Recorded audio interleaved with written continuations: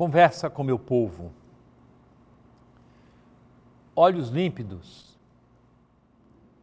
A vida da igreja tem épocas chamadas de tempos fortes, nas quais não se tira o valor das outras fases do ano, mas se abastece a vida espiritual em vista de um caminho a ser percorrido. Quem é cristão se reconhece peregrino do absoluto, chamado a conquistar muitas outras pessoas pela palavra e pelo testemunho de vida, caminhos de evangelização, a fim de que toda a humanidade caminhe rumo a Deus, realizador de todas as esperanças humanas. A Quaresma pede oração, caridade vivida e mortificação ou penitência. Queremos rezar mais e melhor. Mortificação e penitência são nossos esforços para educar os sentimentos e a vontade, tantas vezes flácidos pelo acomodamento e passividade. Somos chamados a dar ânimo novo à sociedade, carente de grandes ideais que podem transformá-la ou mais ainda, transfigurá-la. E ao celebrar o Ano Mariano Nacional, deixemos-nos conduzir pelas mãos da Virgem Maria, aquela que não mediu esforços e dedicação para viver como nova criatura, transfigurada pelo amor de Deus que a escolheu. Em nossa peregrinação quaresmal, olhando uns para os outros e para dentro, somos chamados a reconhecer os limites e possibilidades da humanidade. Venha ao nosso encontro o Senhor Jesus Cristo, verdadeiro Deus e verdadeiro homem. Passando pelas estradas do mundo e convivendo com seus primeiros discípulos, estes se manifestaram temerosos diante dos desafios assustados com a perspectiva da cruz anunciada pelo Senhor. Um gesto de atenção, Jesus escolhe dentre eles três testemunhas: Pedro, Tiago e João, gente de amizade provada, levando-os a um monte que a tradição localizou no Tabor. Era carinho de Deus para que lhes fosse afastado o escândalo da cruz.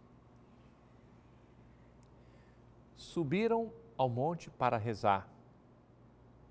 E aqui já começa a mudança, pois quem se eleva em direção a Deus carrega consigo o mundo e já limpa seus olhos. Quem reza vê mais longe e vê melhor. E estavam unidos com a presença de Jesus que se transfigurou diante deles amigos que rezam juntos. Tudo pronto para se revelar a face gloriosa de Cristo. Como delicadeza diante daqueles que, bons judeus, sabiam ser necessárias duas testemunhas para assegurar a veracidade de um fato, permite-lhes ver nada menos do que Moisés e Elias, a lei e os profetas. Aquele a quem seguiam era de verdade o prometido. Mas ainda, a voz do Pai e o sinal da presença do Espírito Santo na nuvem luminosa. Mergulharam na vida da Trindade, com descendência infinita para com aqueles que representavam toda a humanidade e a imensa multidão dos discípulos dos séculos afora até o fim dos tempos. Foi-lhes recomendado silêncio até que a glória viesse completa na ressurreição do Senhor. Também para que muitos aceitassem fazer a maravilhosa aventura da fé, sem medo de serem discípulos. É necessário, primeiro, arriscar-se na fé a visão vem depois e o risco é nosso. Serenidade e calma. Um passo depois do outro, e o dia se faz. Entro no coração dos discípulos da Transfiguração e imagino seus olhos depois daquela experiência. Sua visão não era mais turva, conseguiam entender o que vem depois dos fatos, dos mais corriqueiros aos mais dolorosos. Eis o testemunho de Pedro, que viveu pessoalmente essa experiência. Efetivamente, ele recebeu honra e glória da parte de Deus Pai quando do seio da esplêndida glória se fez aquela voz que dizia: Este é o meu filho bem-amado, no qual está o meu agrado. Esta voz, continua Pedro, nós a ouvimos vinda do céu, quando estávamos com ele na Montanha Santa. E assim se tornou ainda mais firme para nós a palavra da profecia, que fazeis bem em ter diante dos olhos como uma lâmpada que brilha em lugar escuro até clarear o dia e levantar-se a estrela da manhã em vossos corações. Os cristãos, tendo conhecido os seus limites, compartilhados com todos os seres humanos, mas acolhidos na estrada da felicidade que desemboca na ressurreição, sabem ser portadores se viverem unidos em nome de Jesus, do segredo da luz. Podem ser radiantes de felicidade e comunicá-la aos outros. É a maravilhosa vocação do cristão, que no monte ou na planície caminha para Deus, com Deus e com toda a humanidade. Olhos límpidos, lavados por Deus, para enxergar o bem e espalhá-lo com alegria. A segunda semana da quaresma, que começamos com o domingo de amanhã, neste ano mariano, será vivida junto com a Virgem Maria, aquela que encontrou graça diante de Deus. Sua existência foi toda iluminada e transfigurada, pois Maria se revestiu totalmente da palavra de Deus.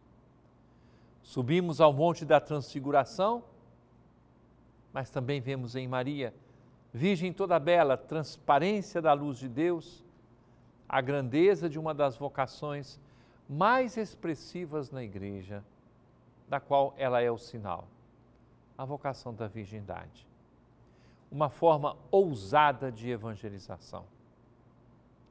Diante de todas as provocações suscitadas pelo pecado, temos a coragem de propor de novo o caminho da virgindade e da castidade aos nossos adolescentes e jovens, como preparação ao matrimônio. Queremos sim, com o coração de Maria e dos discípulos de todos os tempos, contemplar o que aparentemente é desprezado e considerado ultrapassado, para proclamar a proposta da virgindade e da pureza e a consagração virginal, um dom permanente na vida da igreja, assim como o voto de castidade, são propostos como ponto de referência à nossa conversão e à oração quaresmal. E também a preparação casta para o matrimônio resplandece como luz que transfigura o rosto da humanidade diante de Jesus, o Virgem, e de Maria, sua mãe Virgem Imaculada. Permaneça conosco, querido irmão, querida irmã, daqui a pouco estamos de volta. Conversa com meu povo. Caríssimo irmão, caríssima irmã, como sempre acontece, temos a alegria de receber as perguntas que as pessoas nos enviam. E você pode mandar pelo WhatsApp a sua pergunta para a nossa Fundação Nazaré de Comunicação, 98802 3444. Ou você pode fazer as perguntas que são gravadas quando as nossas equipes estão nas várias paróquias da Arquidiocese. Mas hoje começamos com duas perguntas que foram gravadas aqui mesmo na nossa televisão. Vamos ouvir primeiro o diácono Damião, da paróquia de São José, no Marizal.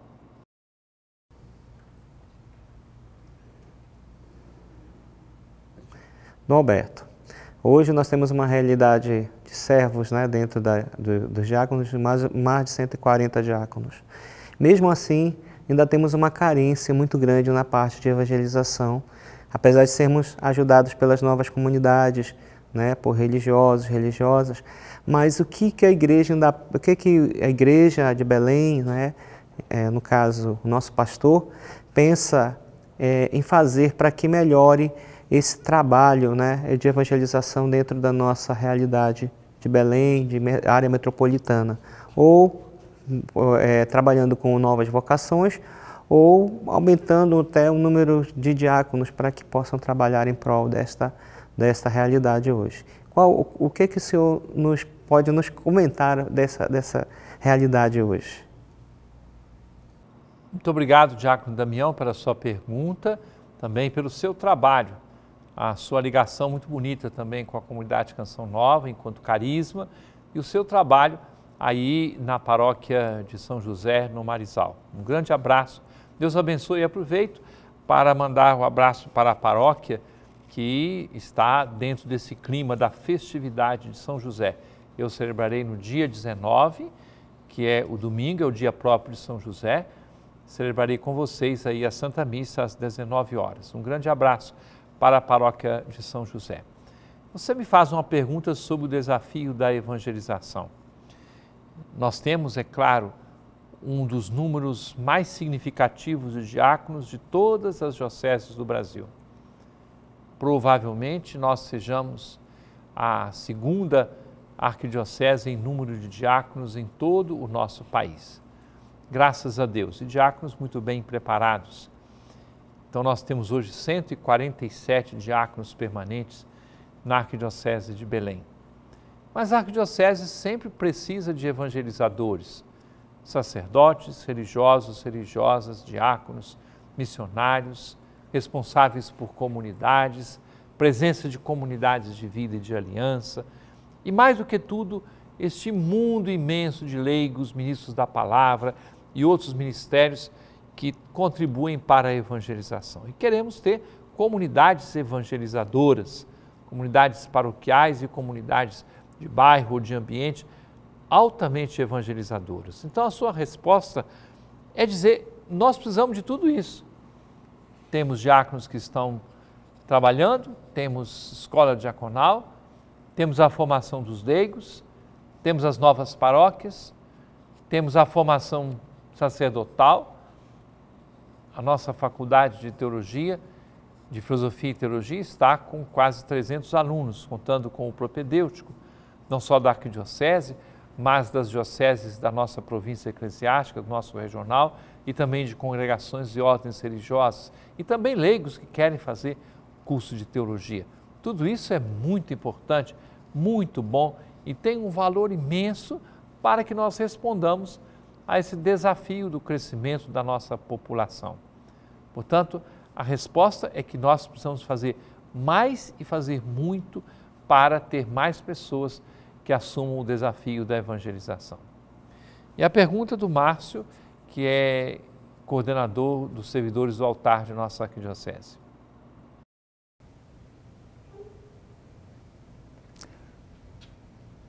Dom Alberto, a respeito do jejum e do, da abstinência, nas quartas e sextas. É, a minha dúvida seria qual a origem desse jejum e da abstinência nas quartas e sextas durante a quaresma? Márcio, uma das práticas religiosas que vem do judaísmo, mas também de outras é, tradições religiosas, por exemplo, nós temos é, no meio dos, dos, judeus, mas também temos nos muçulmanos e temos outras tradições religiosas que têm a prática do jejum, da abstinência, de penitências às vezes muito fortes, muito corajosas, muito firmes, que expressam o quê? Quando você faz o jejum, abstinência ou qualquer mortificação, expressam que você quer educar os seus próprios impulsos, o seu instinto, educar a sua vontade. Isso aqui é uma prática religiosa e também cultural. E também, hoje, nós sabemos com muita clareza que nós precisamos educar o nosso temperamento. Quando a pessoa absorve ou busca todo o alimento possível, ela nunca vai, não vai se sentir bem. Nós precisamos nos controlar. Então, a prática vem, no nosso caso de tradição bíblica, vem já é, do judaísmo e passa para a nossa igreja, para a igreja católica, passa para todos os cristãos. Agora, havia uma prática de toda quarta e sexta-feira da quaresma fazer a abstinência de carne. Depois ficou só na sexta-feira da quaresma. E nós temos dois dias no ano, apenas dois dias, quarta-feira de cinzas e sexta-feira santa, na legislação atual da igreja. Nesses dois dias, nós fazemos a abstinência de carne e o jejum. Nós temos todas as sextas-feiras do ano como proposta de penitência ou abstinência ou jejum, alguma mortificação ou gesto de caridade ou um tempo maior de oração. Essa é a atual legislação da igreja. Se as pessoas querem fazer em outros dias, é por opção própria, não por dever, por obrigação que a igreja, na sua sabedoria, oferece para o nosso crescimento. E agora perguntas que as pessoas nos enviaram através do nosso WhatsApp. Começo com Marinete Silvia, da Pedreira saiu nas redes sociais que o Papa Francisco está sinalizando para padres casados. Isso é verdade?